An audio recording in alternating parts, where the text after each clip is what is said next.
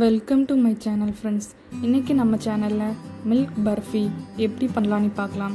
நம்ம சேனலுக்கு நீங்கள் புதுசுனா நம்ம சேனலை சப்ஸ்கிரைப் பண்ணிக்கோங்க ஃப்ரெண்ட்ஸ் இதுக்கு தேவையான இன்க்ரீடியன்ட்ஸ் ஒரு கப் பால் பவுடர் அதாவது இரநூறு கிராம் பால் powder half cup milk half cup sugar சுகரை நல்லா பவுடர் பண்ணி எடுத்து வச்சுருக்கேன் ஃப்ரெண்ட்ஸ் நெய் நாலு டீஸ்பூன் ஏலக்காய் பொடி ஒரு டீஸ்பூன் பாதாம் எட்டு சின்ன சின்னதாக பொடிச்சு எடுத்து வச்சுருக்கேன் ஃப்ரெண்ட்ஸ் முந்திரி பருப்பு அஞ்சு சின்ன சின்னதாக பொடிச்சு எடுத்து வச்சுருக்கேன். இப்போது மில்க் பர்ஃபி எப்படி பண்ணலான்னு பார்க்கலாம். ஸ்டவ்வை ஆன் பண்ணிவிட்டு அது கூட ரெண்டு டீஸ்பூன் நெய் ஆட் பண்ணலாம். நம்ம எடுத்து வச்சுருந்த ஹாஃப் கப் மில்க் ஆட் பண்ணுறோம் மில்கை நெய் கூட நல்லா கலந்து விட்டுக்கோங்க. இப்போ நம்ம எடுத்து வச்சிருந்த ஒரு கப் பால் பவுடரை ஆட் பண்ணுறோம் பால் பவுடரை கொஞ்சம் கொஞ்சமாக ஆட் பண்ணுங்கள் ஃப்ரெண்ட்ஸ் அப்போ தான் கட்டி பிடிக்காமல் இருக்கும். நல்லா மிக்ஸ் பண்ணிக்கோங்க. எப்போதுமே நம்ம மில்க் ஸ்வீட்ஸ் பண்ணும்போது ஸ்டவ்வை மீடியம் ஃப்ளேமில் தான் வச்சுருக்கணும். அப்போ தான் அடி பிடிக்காது.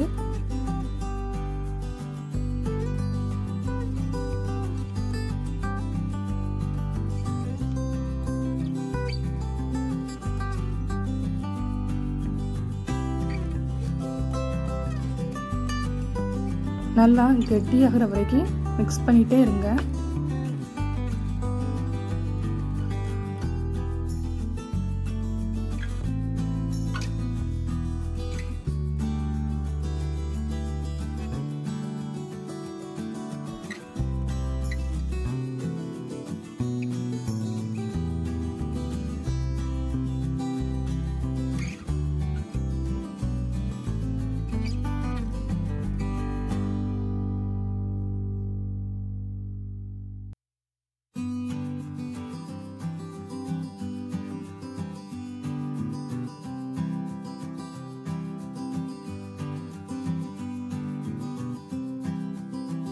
இப்போ இது கூட ஹாஃப் கப் சுகரை ஆட் பண்ணுறோம்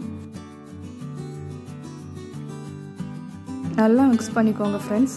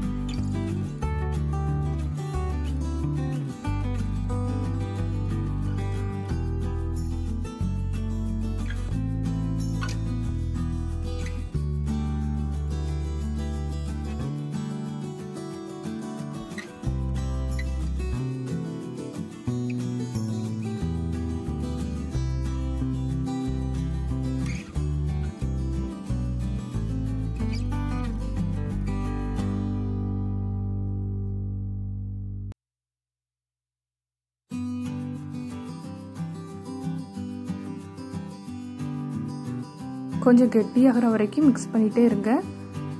இப்போ இது கூட ஒரு டீஸ்பூன் ஏலக்காய் பொடி ஆட் பண்ணுறோம் எல்லாம் மிக்ஸ் பண்ணிக்கோங்க.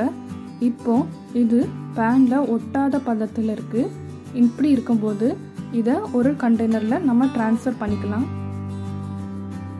நம்ம எடுக்கக்கூடிய கண்டெய்னரை நெய்யால் தடவி வச்சுக்கோங்க. கண்டெய்னரில் உள்ள எல்லா பகுதியிலுமே நல்லா ஈவனாக ஸ்ப்ரெட் பண்ணிக்கோங்க. இப்போ ட்ரை ஃப்ரூட்ஸ் வச்சு நம்ம டெக்கரேட் பண்ணலாம். முதல்ல பாதாம் எடுத்திருக்கேன். பாதாமை சின்ன சின்னதாக சாப் பண்ணி வச்சுக்கிட்டு அதை டெக்கரேட் பண்ணுங்க.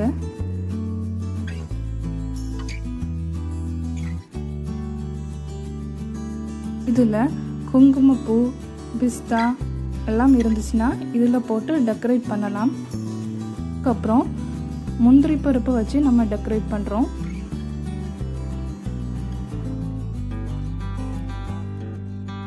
டெக்கரேட் பண்ணதுக்கு அப்புறமா ஒரு ஸ்பூனில் நெய் தடவிட்டு ட்ரை ஃப்ரூட்ஸ்க்கு மேலே நல்லா அமுக்கி விடுங்க. அப்போ தான் ட்ரை ஃப்ரூட்ஸ் நல்லா செட்டில் ஆகிருக்கும் இந்த கண்டெய்னரை ஃப்ரிட்ஜில் ஒன் ஹவர் வச்சு ஃப்ரீஸ் பண்ணலாம். இப்போ ஃப்ரீஸ் பண்ண கண்டெய்னரை எடுத்து வெளியே வச்சாச்சு. இப்போ இந்த கண்டெய்னரை ஒரு பிளேட்டில் கமுத்தி வைக்கலாம். பர்ஃபியை திருப்பி போட்டு நம்ம பீஸ் போடலாம். உங்களுக்கு எந்த ஷேப்பில் வேணாலும் அந்த ஷேப்பில் பீஸ் போட்டுக்கலாம். நான் ரெக்டாங்குலர் ஷேப்பில் இன்னைக்கு பீஸ் போடுறேன்.